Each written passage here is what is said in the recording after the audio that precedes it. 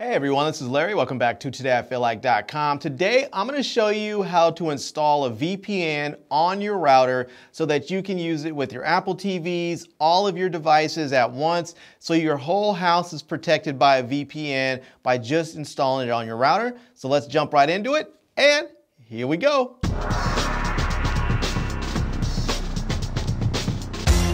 Right, so if you are going to add a VPN to your router, the first thing that you need to get is actually a VPN. So let's go ahead and get one. And so what we're going to do is we're going to go to IPVanish here. This is the link that I would use. This is my affiliate link. So if you guys want to help support the channel, this is one way you can do it.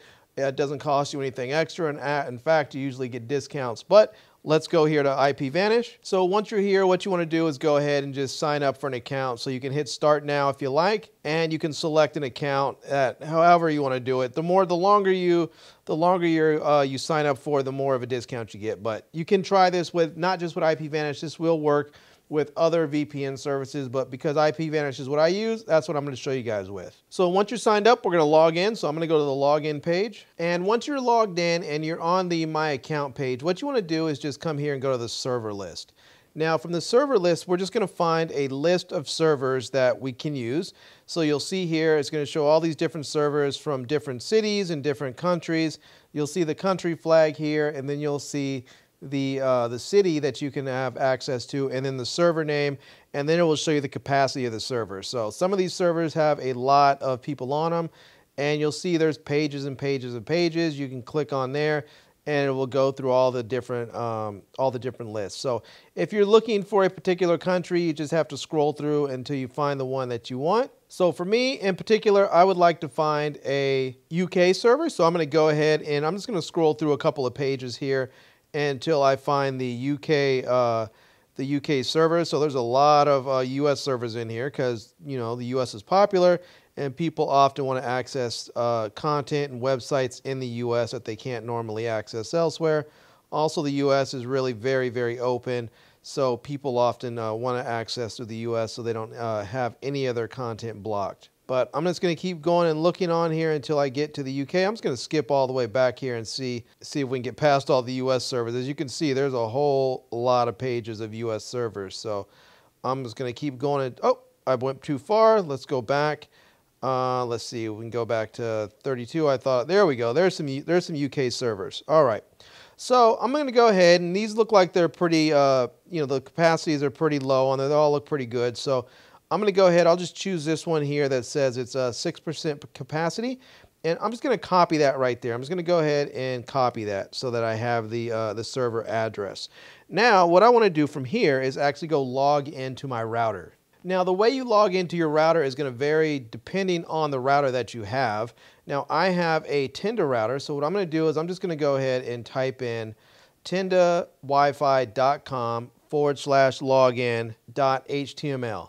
Now, you'll usually find this information in a couple of different places. You'll either find it on the back of your router, it usually will have a sticker on there, or you can find it in your user manual, or you can find it on the website of the brand of your router. So I'm to go ahead and, uh, and hit that right there to go to the login page. And now you want to put in your password on here, and your password is going to be on that sticker on the back of your router. So whatever router you have, you're going to put that password in. So I'm going to go ahead and put my password in right now so I can log in. All right, so there we go. I am now logged in.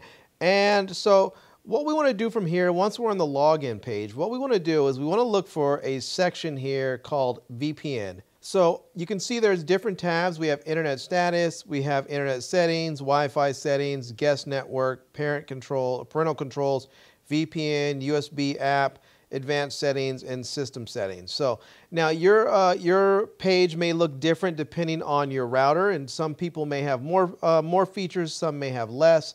So it just depends on the router you're using. But what you want to do is look for this section right here where it says VPN. So I'm going to go ahead and click that. And now from here, you're going to see different types of VPNs that you can use. You can use PPTP servers, online PPTP uh, users and you can have PPTP slash L2TP client. So this is the one that we want right here, which is the PPTP slash L2TP client. We want this one here. So your, again, your sections and your, in your layout may look a little different depending on your router, but this is what we want right here. So I'm gonna go ahead and click that. And if it's off right here, if you see that little tab where it's off, just go ahead and click it to, uh, to turn it on so you can get more information and see the complete layout. And so now that we have that, we wanna go ahead and we wanna make sure that we select the client type as PPTP. So I'm gonna have that there, which is PPTP.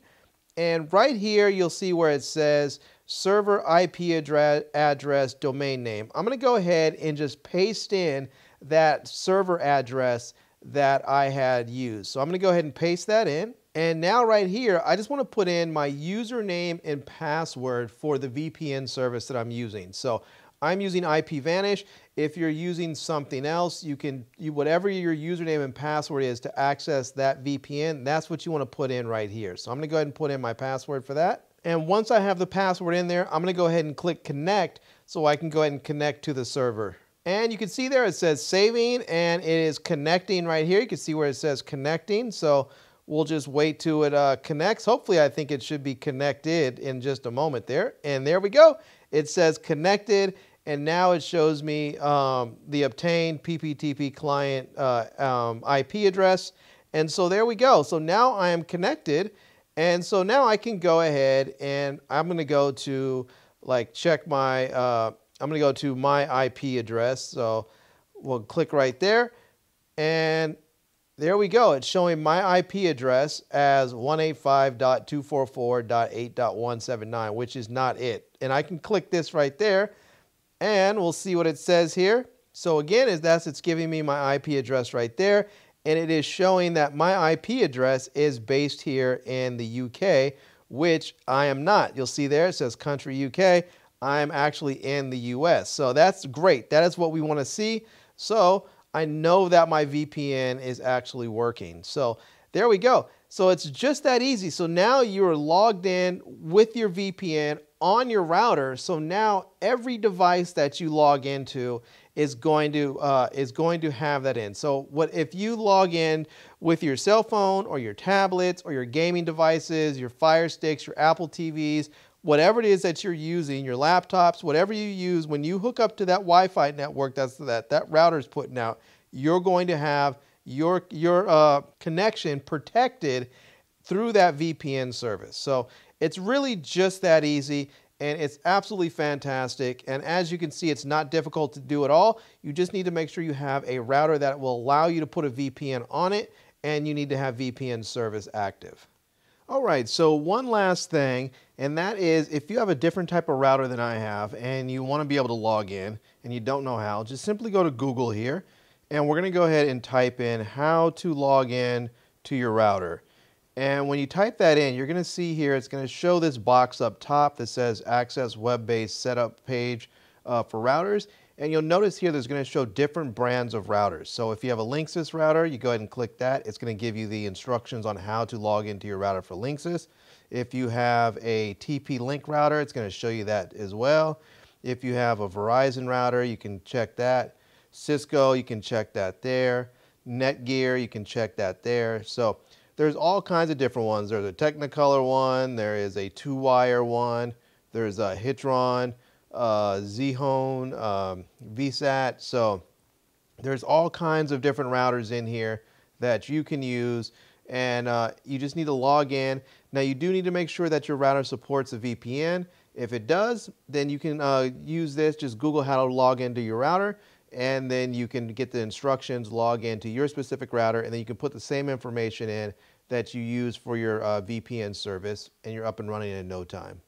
All right, everyone, so there you have it. That is a look at how to install a VPN on your router. And this is a really nice way of making sure that all of your internet connected devices in your home are protected. So you can have this connected to your phones, to your tablets, to your gaming consoles, to your streaming boxes like your Fire Sticks and Fire TVs and Apple TVs and NVIDIA Shields and everything else. If it's internet connected and it's connected to the router that you install the VPN on, then your device will be protected. So now the other nice thing about this is, is that if you have a service that only allows for a certain number of simultaneous connections, the router connection counts as one everything else that is connected to it does not count. So if you have 15 devices in your house that are connected to your router, that is only going to count as one connection because it's only connected to your router. So there you go.